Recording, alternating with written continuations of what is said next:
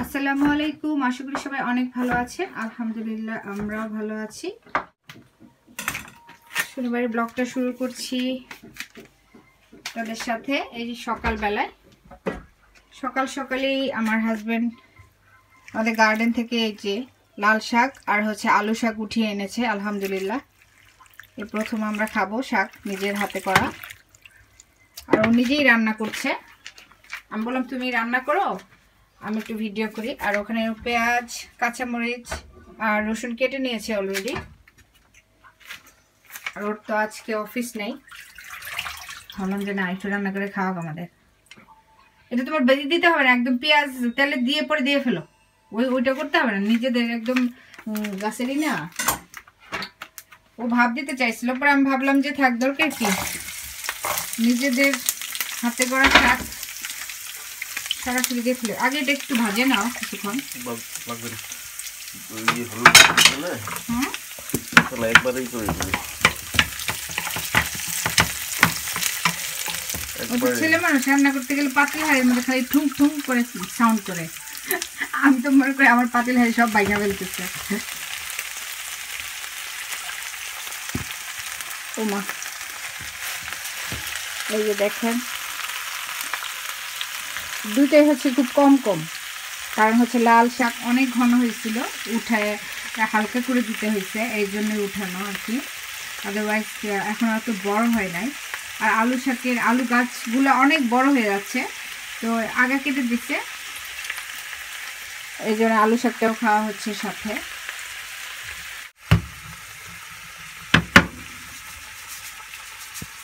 এই যে লবণ দিয়ে দিচ্ছে।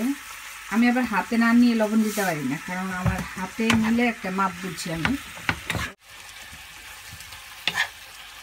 আচ্ছা, তুমি শাকটা রান্না করো। জান বলছে খাবে এটা। জান খাবে?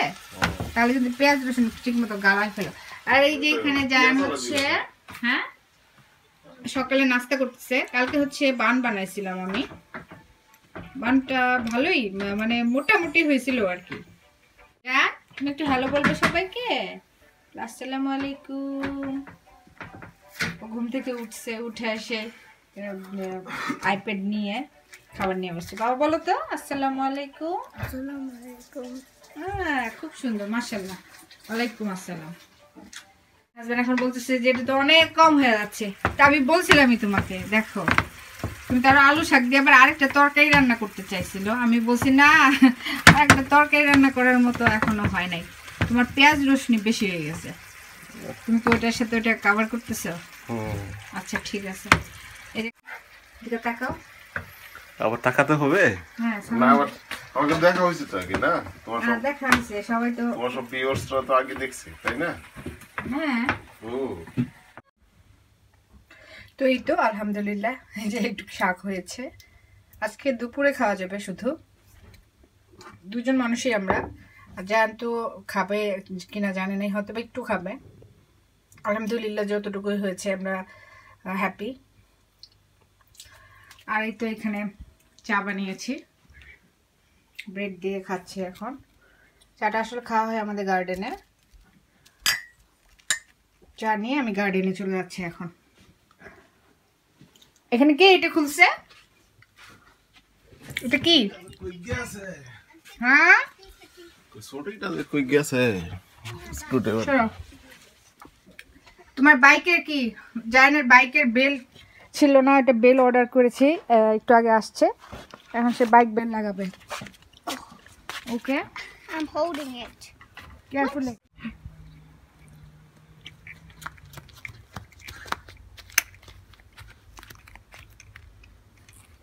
কেন বাইকের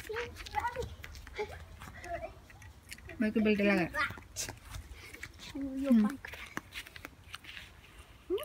আমি অনেকদিন পর আমার বান্ধবীর বাসায় এসেছি, ছোটবেলার বান্ধবী।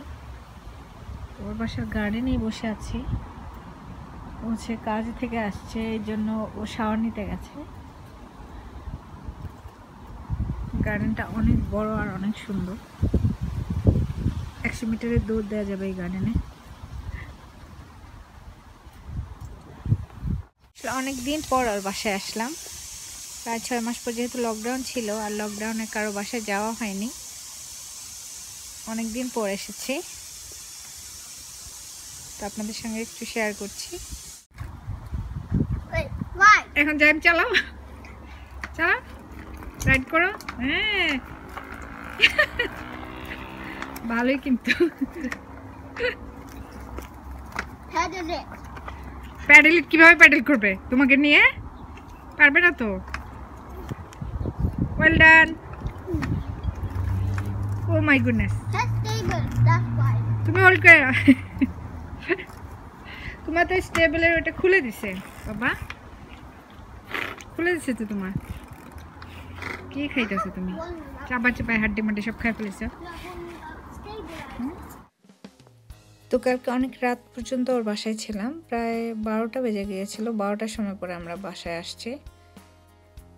তো অনেক দিন পরে অনেক কথা হলো গল্প করলাম এই জন্য অনেক টাইম পর্যন্ত ছিলাম। সেই দুপুর তিনটার দিকে গিয়েছিলাম। তিনটারও আগে গিয়েছিলাম। আশা করি আপনাদের ভিডিওটা ভালো লাগবে। আর ভালো লাগলে অবশ্যই আমার ভিডিওটি আহ, কে লাইক করবেন কমেন্টস করবেন, আর আমার চ্যানেলটিকে সাবস্ক্রাইব করতে ভুলবেন না। যারা এখন আমার চ্যানেলটিকে সাবস্ক্রাইব করেনি প্লিজ আমার চ্যানেলটিকে সাবস্ক্রাইব করে দেবেন, আর যারা করেছেন তাদেরকে অনেক অনেক ধন্যবাদ। সবাইকে আমার পাশে থাকার জন্য অনেক ধন্যবাদ। আল্লাহ হাফেজ।